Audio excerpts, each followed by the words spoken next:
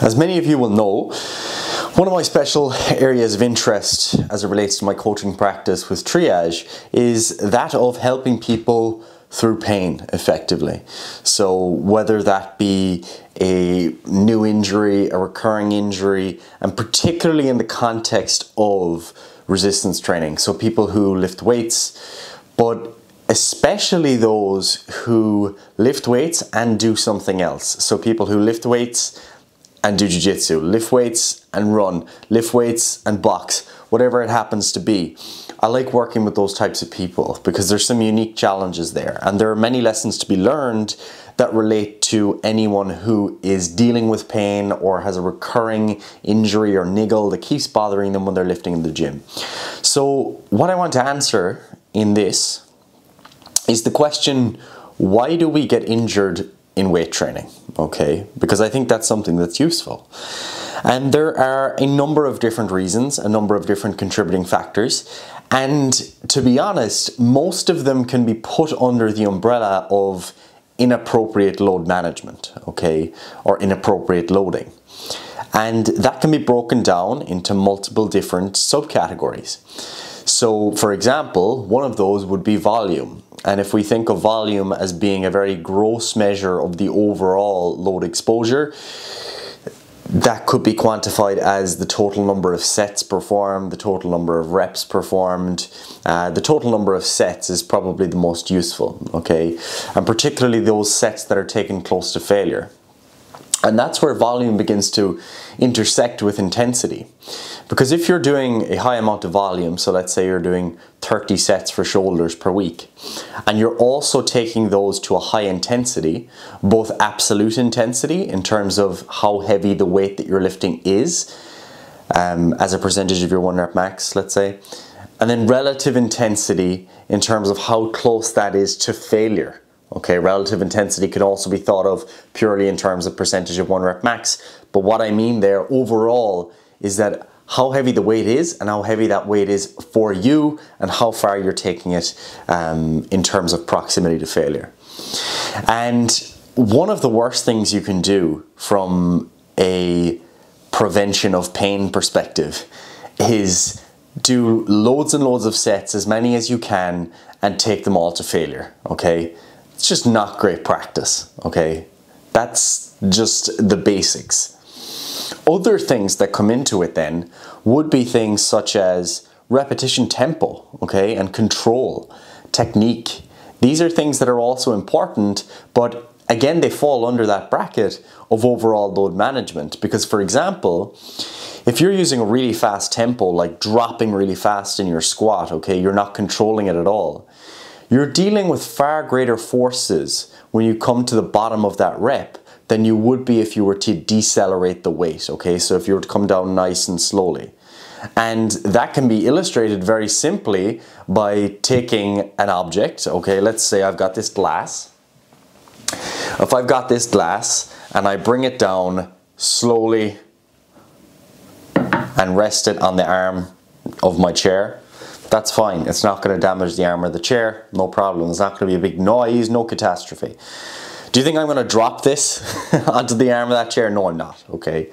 Much like if you put, you know, a 10 kilo weight down on your foot nice and slowly, that's fine. You can handle that, but try dropping that 10 kilo weight onto your toe from the height of like two meters. Trust me, I've been there, I've done it, got the comminuted fracture. You don't want to do that, okay? so the velocity at which you move matters the technique and joint angles etc that you achieve the range of motion that again all comes into that because it modifies the loading that you're experiencing. So performing let's say uh, 50 kilo dumbbell press which is your six rep max and going as low as you possibly can and finding any way to get lower despite the fact that your shoulders are already hurting um, when you get towards the bottom and you don't consider yourself to be a very flexible person that again is one of those things that could contribute to a higher risk of injury because the loading is more novel, it's more um, progressive relative to your current ability, and as a result, the overall load, the overall load that you're dealing with is increasing. Okay, because lifting a 50 kilo dumbbell with arms straight up here is very different to them being like forced all the way back into maximum sh shoulder extension. Okay, so there's some of the variables you want to be thinking about. Now, generally, people probably overemphasize the importance of the technique component and underemphasize everything else. That's one of the biggest mistakes I see is that people worry far too much about the specific joint angles they're achieving, like, oh, is my back rounding? And not enough about the fact that they're doing 10 sets of deadlifts to failure, okay? You know, it doesn't matter how straight you keep your back in a deadlift if you're doing far too much volume, far too much intensity, you're working far too hard, your risk of injury is increasing, okay?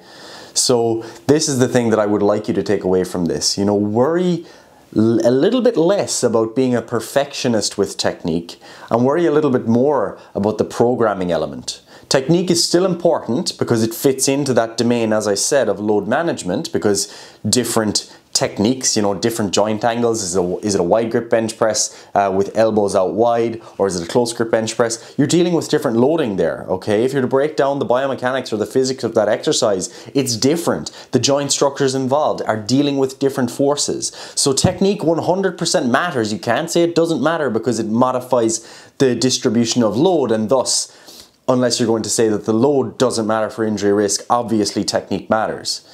But the overall load management is what I'd really like you to pay attention to. And this is particularly important for those of you who perform multiple different activities. So for example, people who are running and doing weight training, let's say, it's very common for people to adopt a weight training program that someone might be able to tolerate as a bodybuilder, let's say, and then to slap on top of it a load of running you know? Um, they might take on a load of running and how do people then approach their running? They do 5k and they go as fast as they can. 10k as fast as they can again increasing risk of injury because we're we're pushing that loading far too quickly okay? This is one of the things that I, I come across most often with new clients who are taking up running. I have to slow them down slow them down stop chasing the times detach the ego and clearly that's relevant to weight training as well. You'll see this with people who let's say they start bench pressing over 100 kilos they finally break that milestone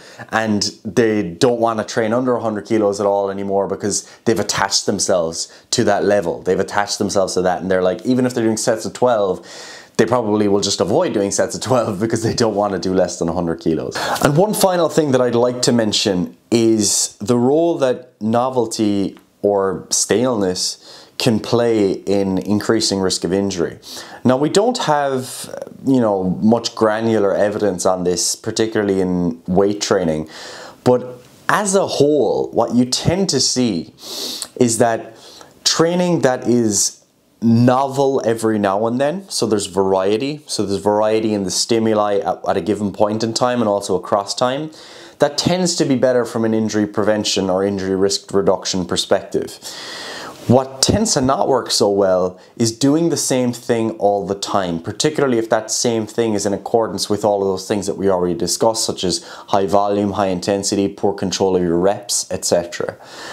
And this is most evident, I guess, when you look at early sports specialization. When you look at children in sports, if they specialize really early, they're at higher risk of um, injuries, burnout, and other complications down the line versus those who play multiple different sports.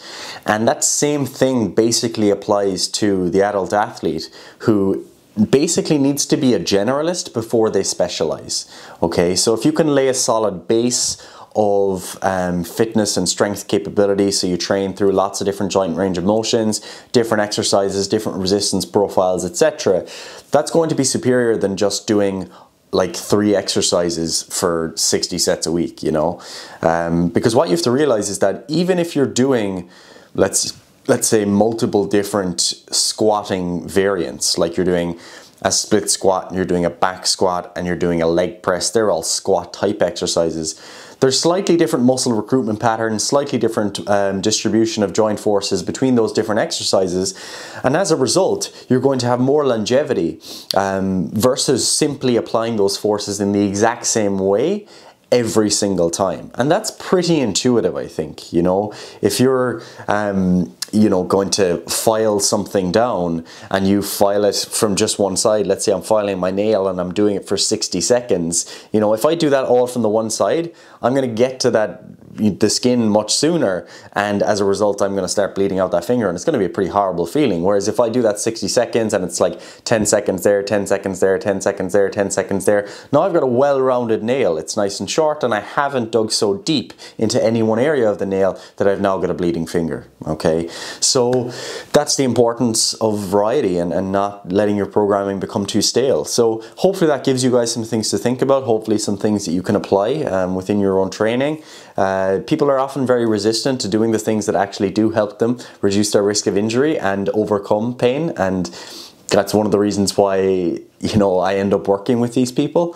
So yeah uh, don't be resistant to it uh, because it will come back to bite you and trust me as someone who does a lot of training without that variation element I'd be injured all the time okay doing multiple different activities I can train 8 to 10 times per week you know no problem 12 times per week even as long as I'm doing different things if I was doing the same thing for all those sessions God I'd be in pain all the time, okay? Or at least I probably would, okay?